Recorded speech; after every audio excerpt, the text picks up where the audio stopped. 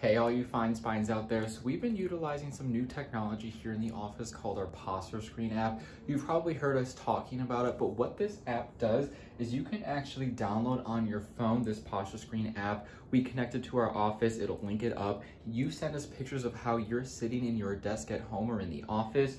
We put it into this awesome app and it's gonna spit out a bunch of data for us, showing us how high your shoulders are, where you should be sitting, how you should be sitting at your desk, where your elbows should be going, monitor height. It's gonna spit out all this information for us. And we can utilize that to help you get those best ergonomic positions, whether you're at home or in the office. Go ahead and send us those pictures. Now that's not all that this app does. It does a lot more stuff. So not just by looking at posture, we can look at lean screening. If you're squatting, having issues, any issues at the gym or anything like that, there's a squat screen on there.